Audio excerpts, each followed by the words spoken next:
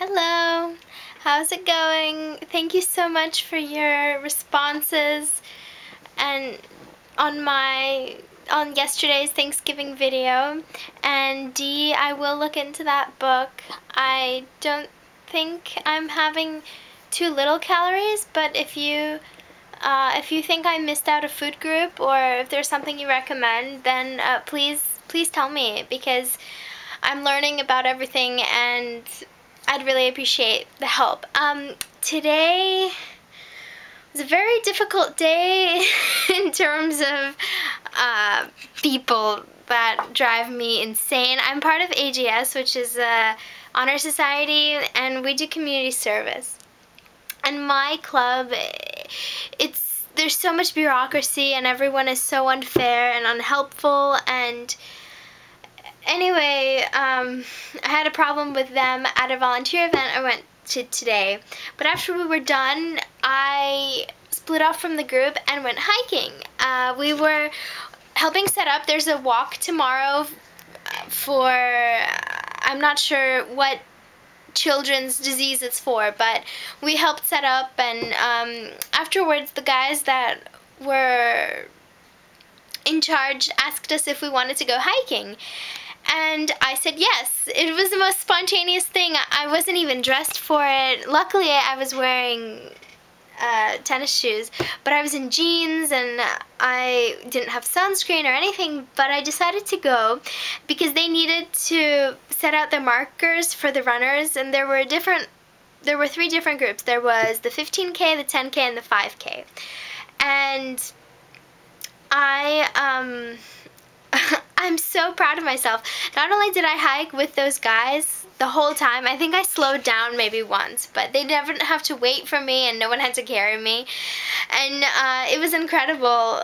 It was so beautiful up there and I had a lot of fun. Um, hiked about for 10k, 10 kilometers. So um, usually I walk about 4 miles, 4.5 miles, from 3 to 4.5 miles every day, but it's in the neighborhood, so it's not really uphill or or dirt road.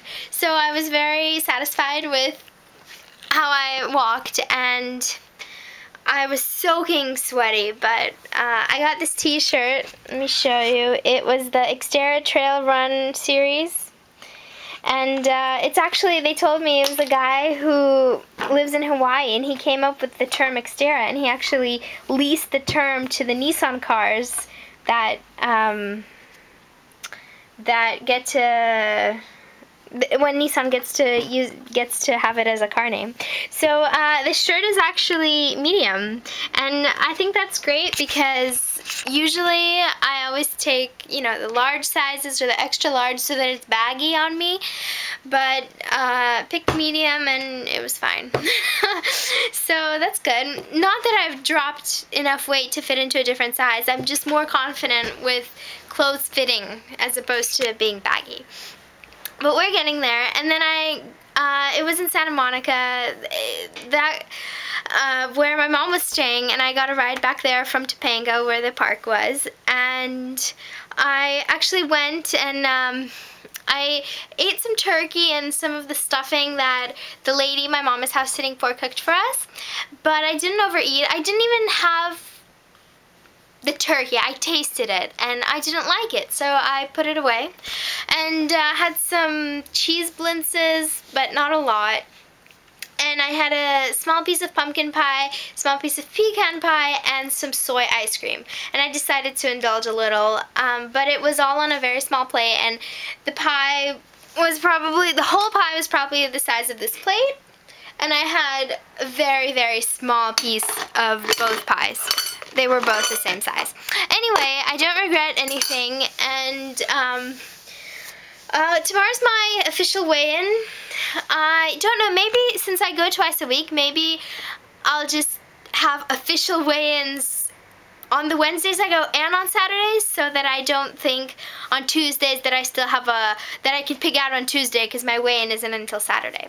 So uh, we'll see if, if they'll let me. Sometimes Weight Watchers has funny rules and um, but I'm a monthly member, so there shouldn't be any problems. Anyway, uh, thanks for your attention, and have a great night. Bye.